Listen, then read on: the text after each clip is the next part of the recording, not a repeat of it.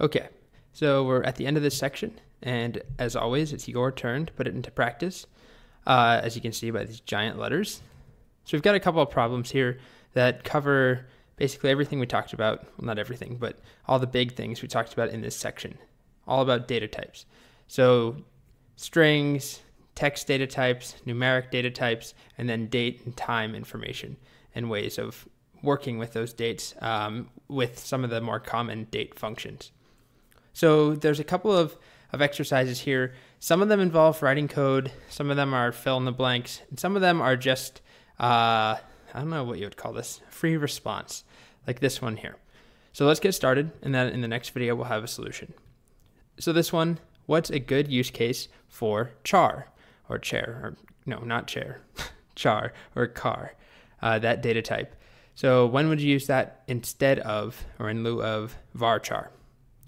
So you can use one of the things that we talked about um, or come up with your own. You don't have to write it down. Just come up with something.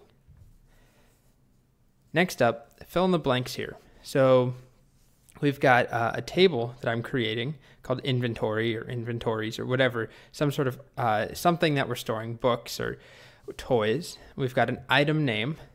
What data type should that be? There's not necessarily one, only one workable answer, but there's one better answer. Price. So what data type should price be?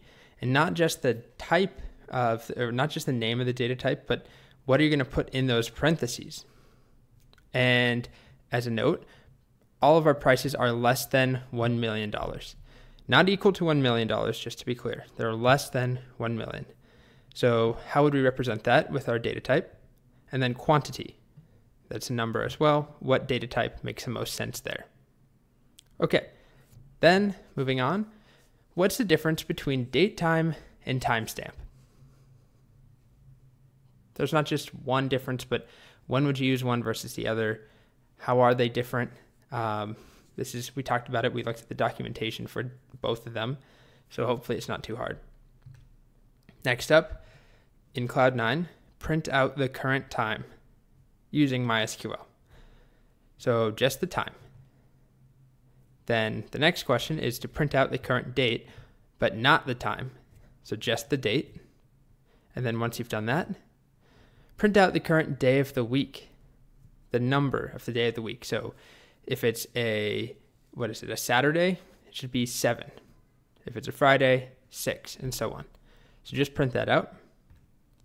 And then do the same thing, print out the current day of the week, but this time it should be the name of the day of the week, like Monday or Tuesday. So the English name of the day of the week for today, the current, whenever you're running this, uh, print out the day of the week. Next up, print out the current day and time using this format. So two month or month month slash day day slash four digits for the year. And then once you've done that, we have another one. Print out the current day and time using this format, which I wasn't sure how to actually boil this down to uh, a nice little formula like we have here. So I just gave you two examples. So we have the full month name, January or April.